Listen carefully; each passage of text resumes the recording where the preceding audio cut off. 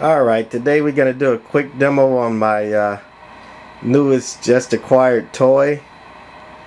A WN2D Wavenode watt meter. Uh, it's a PC watt meter, needs to hook to your computer.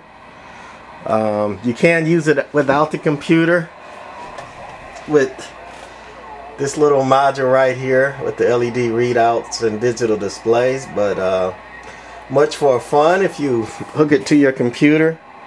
And that's my uh, monitor I'm using. Actually it's a 32 inch TV with uh, VGA that I use for both a TV and a monitor for the Wavenode. And um, it pretty much obsoletes my uh, old watt meter. Uh, there's one of my watt meter panels that I used to play around with. A bird watcher a digital bird uh, panel meter, a large uh, meter coaxial dynamics um, shows forward in SWR, and uh, another bird panel meter. I like to measure my uh, input SWR and power as well as my output, so that's one of the reasons I have so many meters. Um, actually, while I'm on meters, there's some more I had laying around a regular bird 43 at the left the uh, coaxial dynamics which is like a bird clone but even uh, bigger and in my opinion better than the uh, bird 43 next to it in the blue. A couple of bird 4381 um, digital watt meters. And a new Wavenode right there which I think I'm going to use to replace all of them I may keep one analog meter and a much maligned uh, black cat meter. With the meter, the uh, frequency counter and the scope. And a old big black cat meter. I'll probably keep one analog meter for backup or to do analog adjustments because it's a little tricky to do some adjustments with the digital meter but uh, sure fun to play with. Started to do a demo and hook up the uh, birds and compare them to the black cats, but uh, I didn't feel like uh, wasting my time with it because um, um I don't think people would believe me anyway. The birds and the black cats read extremely similar. It's just the birds read peak, not the birds, I'm sorry, the black cats read peak and most of the birds read average, but if the I use the peak reading birds that I have.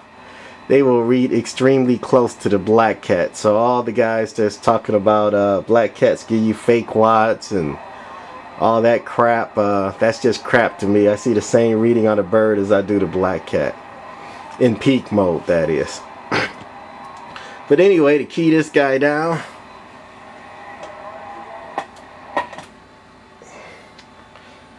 Hello, hello, hello, hello. Audio. Keying the radio down. It's showing you uh, peak watts, average watts, uh, peak SWR, and average SWR for both the uh, transmitter, the driver, and it's not reading the final because I had a final set for a little bit higher uh, wattage scale.